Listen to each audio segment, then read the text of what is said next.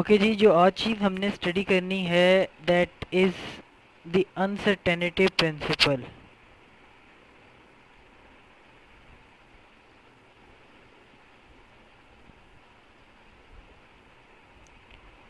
this was proposed by Heisenberg, which is the name of the scientist. तो हम इसको generally जो कहते हैं हेजनबर्ग अनसर्टेनिटी प्रिंसिपल अब ये प्रिंसिपल क्या है?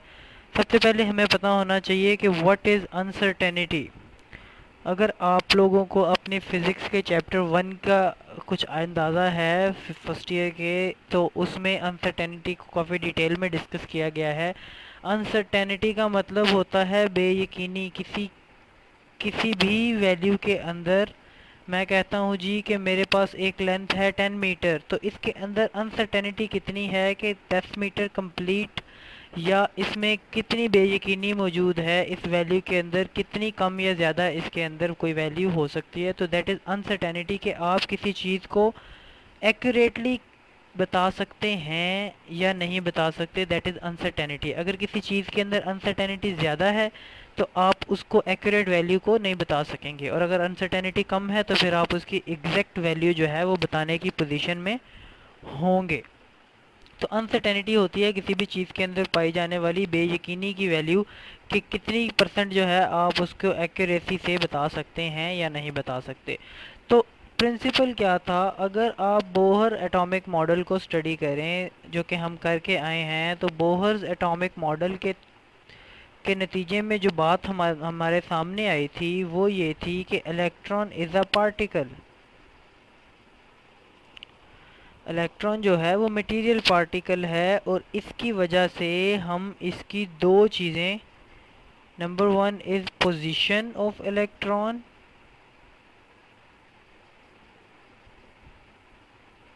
and number two is the momentum of electron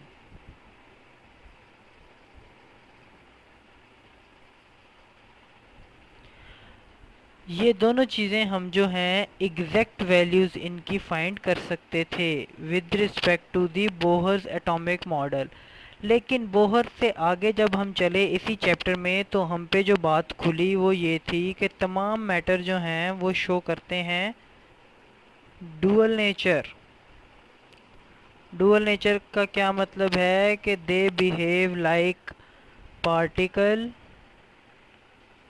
and they also behave like waves.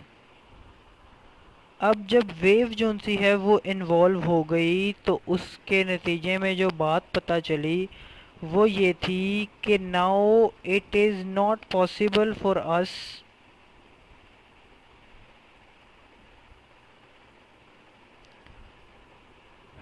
to determine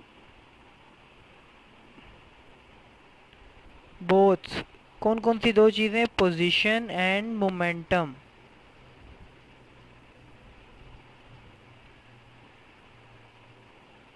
और जो इम्पोर्टेंट बात है वो है साइमल्टेनियसली मतलब क्या हुआ? जब वेव के इन्वॉल्व हो गई वेव की प्रॉपर्टीज़ जब हमारे सामने आई तो हम तक ये बात भी पहुँची कि आप पोजीशन ऑफ़ इलेक्ट्रॉन और मोमेंटम ऑफ़ इलेक्ट्रॉन दोनों को एग्जैक्ट वैल्यू जो है, वो एक वक्त में जो है प्रिडिक्ट नहीं कर सकते। मतलब अगर आप एक चीज़ को, अगर आप एग्जैक्ट पोजीशन को लोकेट करते, करने की तरफ़ जाते हैं तो आपका जो मोमेंटम है, उसके अंदर अनसर्टेनिटी बढ़ जाती है। आपका मोमेंटम जो है, वो अनसर्टन हो जाता है। उसकी वैल्यू जो है, वो गैर यकीनी हो जाती है। और अगर आप एग्जैक्ट मोमेंटम की तरफ़ जाते हैं, आप एग्जैक्ट मोमेंटम फाइंड आउट करना चाहते हैं अपने इलेक्ट्रॉन का तो फिर आपकी जो पोजीशन वाला फैक्टर है, वो जो सा है अनसर्टेन हो जाता है। तो ये प्रिंसिपल था हेजनबर्ग का uncertainty principle that both position and momentum can not be exactly measured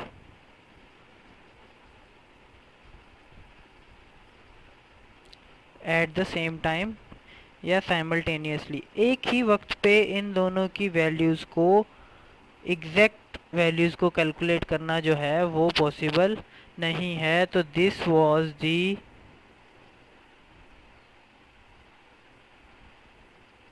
Heisenberg's uncertainty principle. यहाँ तक तो चीज़ आपको जो सी है, प्रिंसिपल की डेफिनेशन जो सी है, वो क्लियर हो गई। अब उसने उसकी मैथमेटिकल फॉर्म भी हमें बताई है।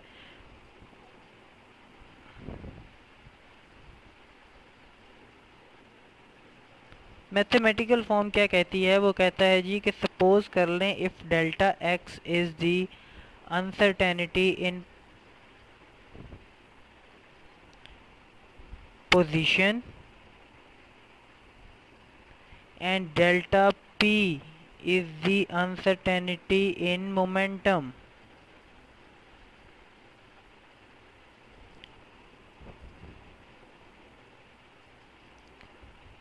तो वो कहता है जी कि इन दोनों की जो सी प्रोडक्ट है delta X into delta P वो मस्ट बी ग्रेटर देन और इक्वल टू होनी चाहिए एच ओवर फोर पाई अब इस इक्वेशन को आप लोगों को मतलब ये याद होनी चाहिए this is the mathematical equation of Heisenberg uncertainty principle और ये हमें बताती क्या है, इसको अगर आप देखें तो for example H over four pi is a constant value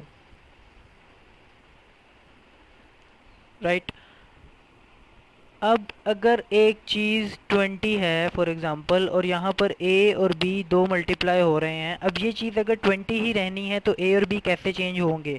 Number one is 20 and multiply by one is equal to 20 इसका मतलब क्या है कि एक चीज़ बढ़ रही है और दूसरी चीज़ जो है वो कम है। अगर इसको मैं टेन मल्टीप्लाई बाय टू कर दूँ तो क्या होगा कि इसको जब मैंने कम किया तो ये चीज़ जो सी है वो बढ़ गई, क्योंकि ये वाली वैल्यू मुझे सेम रखनी है। तो इस इक्वेशन से हमें ये पता लगा कि अगर आप जोन से हैं, एक चीज़, अगर डेल्टा एक्स जो है वो स्मॉल होगा डेल्टा एक्स क्या है? अनसर्टेनिटी इन पोजीशन अगर अनसर्टेनिटी पोजीशन में स्मॉल होगी स्मॉल होने का मतलब क्या है कि अगर आप उसकी एग्जैक्ट वैल्यू फाइंड आउट कर लेंगे तो डेल्टा पी की वैल्यू इस इक्वेशन के मुताबिक हो जाएगी लार्ज और डेल्टा पी क्या है? ये भी अनसर्टेनिटी है. मोमेंटम में। अनसर्टेनिटी जब लार्ज हो जाएगी तो इसका मतलब है कि आप इसकी एग्जैक्ट वैल्यू जो है, वो फाइंड आउट नहीं कर सकते। तो एक को जब आप एग्जैक्ट वैल्यू की तरफ़ जाएँगे तो दूसरी जो सी है, वो अनसर्टेन हो जाएगी। इसी तरह अगर मैं डेल्टा पी की वैल्यू स्मॉल कर दूँ, इसको फाइंड आउट कर लूँ तो डेल्टा एक्स की वैल्यू जो है, वो लार्ज हो जाएगी इस वाले फैक्टर को कांस्टेंट रखने के लिए, जैसे कि इस एग्जांपल से आपको समझ आ गई होगी। तो पता ये चला कि एक को एक को एग्जैक्टली फाइंड आउट करने जाओ तो दूसरी की वैल्यू एग्जैक्ट जो सी है, वो फाइंड आउट नहीं हो पाती। और अगर दूसरी को एग्जैक्ट फाइंड करने जाओ तो पहली वाली जो है, वो अनसर्टेन हो जाती है। और यही प्रिंसिपल था। कहा कि एक चीज़ जो है, दोनों को आप इकट्ठा जो है, वो फाइंड आउट नहीं कर सकते। अब यहाँ पर इसकी जो है, वो लिमिटेशन भी बताता है इस लॉ की। वो कहता है जी कि this law is applicable only on the microscopic bodies applicable on the microscopic particles.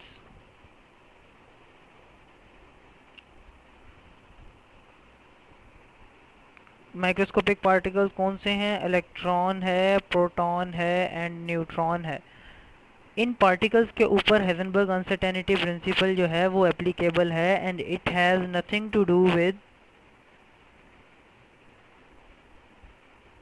the bodies with larger masses like macroscopic bodies जो कि बड़ी और लार्ज बॉडीज़ हैं, उनके ऊपर ये प्रिंसिपल अप्लाई नहीं होता। क्यों नहीं अप्लाई होता? क्योंकि कल जब हमने लास्ट टाइम पिछले टॉपिक में मैक्रोस्कोपिक बॉडीज़ के हवाले से पढ़े थे डुअल नेचर को तो हमने देखा था कि उनकी वेवलेंथ जो है, जो कि डिब्रोगली वेवलेंथ हमने निकाली थी, वो वेरी स्मॉल होती है, वो ten raise to power minus thirty के केस की रेंज में निकली थी, जब हमने एक ग्राम के स्टोन की वेवलेंथ निकाली थी तो फिर हमने ये नॉर्मली एज्यूम कर लिया था कि macroscopic bodies have no waves और जब वेव्स एसोसिएट नहीं हैं उनके साथ तो फिर अनसर्टेनिटी का प्रिंसिपल भी अप्लाई उन पे नहीं होगा। तो यहाँ पे ये बात आप लोग ध्यान में रखेंगे कि आपके पास जो सा हेजनबर्ग अनसर्टेनिटी प्रिंसिपल है that is only applicable on the microscopic particles and not applicable on the macroscopic particles अब हम आगे जाते हैं। इसको थोड़ा सा डिटेल में और स्टडी करते हैं। होता क्या है? आपके पास वो कहता है जी कि आपने अगर एक इलेक्ट्रॉन की पोजीशन मैयर करनी है, मैं कहता हूँ जी दिस इज़ एन इलेक्ट्रॉन इसकी मुझे पोजीशन मैयर करनी है। अब पोजीशन मैयर करने के लिए आपको इसको देखना पड़ेगा। अब होता क्या है बेसिकली आप अगर विजिबल लाइट यूज़ करें इसको देखने के लिए। सबसे पहले तो आपको बेसिक कॉन्सेप्ट ये पता होना चाहिए। मैं कहता हूँ दिस इज़ अ बॉडी मुझे इसको देखना है तो देखने के लिए क्या होगा कि इसके ऊपर जो है लाइट जब पड़ेगी तो लाइट की जो वेवलेंथ है, वो इससे आके टकराएगी और जब ये स्कैटर होगी तो ये जब मेरी आँख में आएगी तो मुझे ये बॉडी की कलर और लाइट में ये बॉडी नज़र आएगी।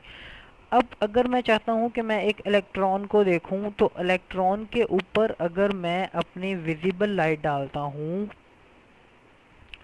तो विजिबल लाइट जो है, वो काम जो है, वो नहीं करेगी। विजिबल लाइट का जो डायमीटर है वेवलेंथ है, वो वेरी हाई होता है as compare to the diameter of electron तो क्या होगा कि जब मैं विजिबल लाइट को इस्तेमाल करूँगा तो विजिबल लाइट जो है, वो इसको इसके साथ टकराए बगैर जो है वो गुजर जाएगी और इलेक्ट्रॉन हमें नज़र नहीं आ सकेगा। तो मुझे इलेक्ट्रॉन के साथ टकराने के लिए कोई ऐसी चीज़ चाहिए जिसका शॉर्ट वेवलेंथ इतनी कम हो कि वो इसके डायमीटर की रेंज में हो।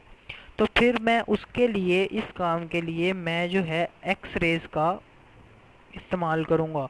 एक्स रेज का डायमीटर वेवलेंथ जो है दैट इज़ वेरी स्मॉल तो इसके रास्ते में आने वाला जो इलेक्ट्रॉन होगा, ये उसके साथ टकराएगी।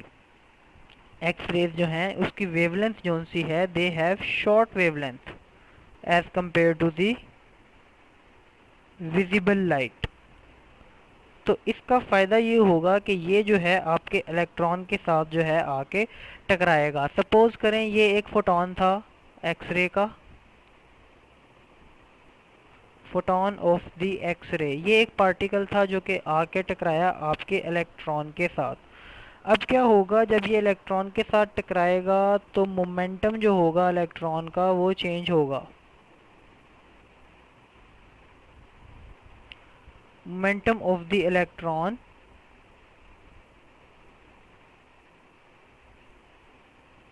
will change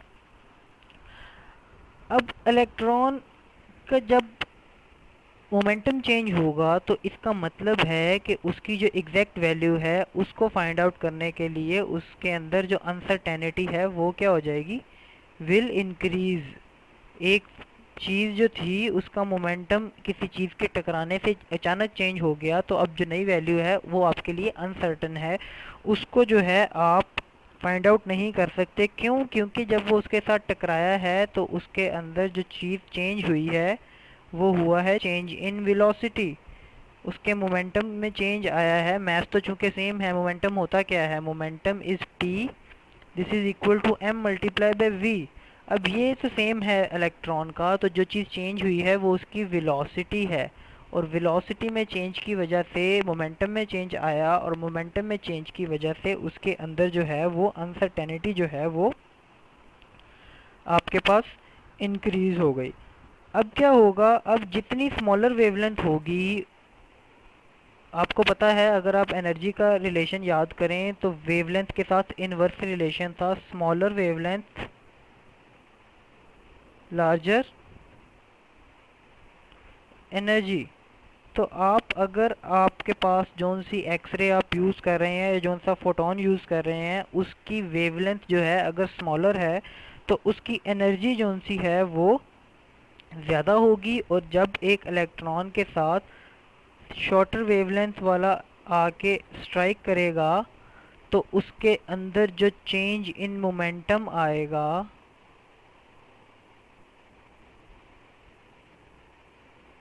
वो भी क्या होगा? More that will be more वो ज़्यादा होगा. क्यों? क्योंकि एक चीज़ को एनर्जी ज़्यादा दी जा रही है वो ज़्यादा एनर्जी से टकरा रहा है। फॉर एग्ज़ाम्पल ये एक बॉडी थी इसके साथ आके एक जो चीज़ टकराई, वो सपोज़ 10 जाउल से टकराई तो इसके अंदर जो चेंज आएगा, मैं उसको एक्स कह देता हूँ। और अगर इसी बॉडी के साथ जो चीज़ आके टकराई, वो 50 जाउल के साथ थी तो फिर इसके अंदर जो चेंज आएगा अगर वो वाई है तो वाई विल ऑब्वियसली भी ग्रेटर देन दी एक्स क्योंकि उसको ज़्यादा एनर्जी से टकराव मिला है। तो अगर मैं smaller wavelength of X rays इस्तेमाल करूँगा तो फिर उसकी एनर्जी ज़्यादा होगी, और जब एनर्जी ज़्यादा होगी तो चेंज इन मोमेंटम जो है वो ऑटोमेटिकली बढ़ जाएगा। अब क्या होगा कि जोन सी आप उसकी एग्जैक्ट पोजीशन फाइंड आउट करने की तरफ़ जब आप जाएँगे तो आप उसकी पोजीशन फाइंड आउट नहीं कर सकेंगे। आपने क्या किया? आपने यहाँ पर मोमेंटम को फाइंड आउट कर लिया, लेकिन आपके पास जो उसकी इसके साथ टकराने के बाद जो इसकी पोजीशन है, वो क्या हो जाएगी? पोजीशन विल बी अनसर्टन तो यहाँ पे आपको पता लगा कि हेजनबर्ग अनसर्टेनिटी प्रिंसिपल कैसे काम करता है कि जब आप एक चीज़ की अनसर्टेनिटी ख़त्म करते हैं तो दूसरी चीज़ की अनसर्टेनिटी जो है वो बढ़ जाती है। अब अगर हम क्या करें photon of longer wavelength large wavelength अगर हम इस्तेमाल करेंगे वेवलेंथ इज़ लार्ज तो फिर एनर्जी क्या होगी?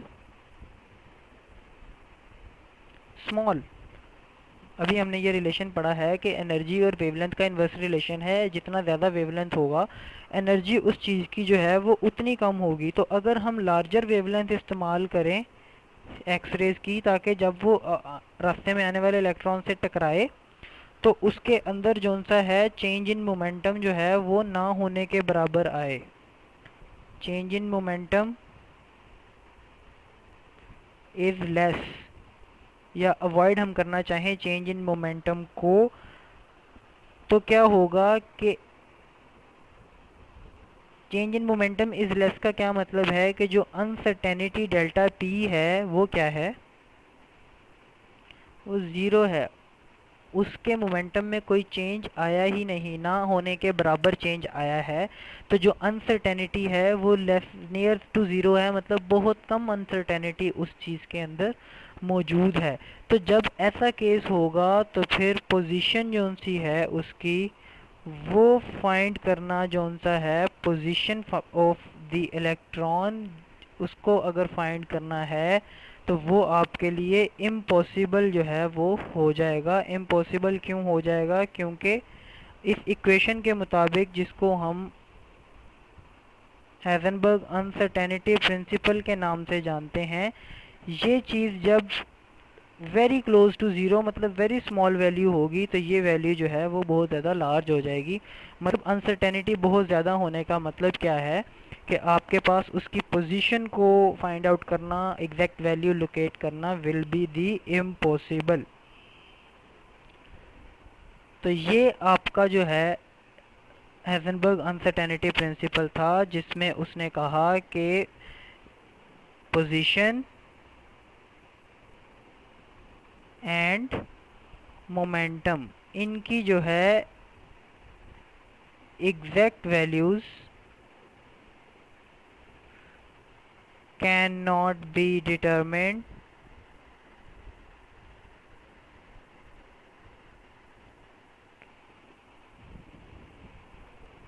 simultaneously तो ये आपके पास इसको सिर्फ़ याद ही नहीं होना चाहिए। ये आपका कॉन्सेप्ट जो है, वो आपके जहनों में जो सा है, वो बहुत ज़्यादा पुख्ता होना चाहिए। This was the uncertainty principle and ours today's topic as well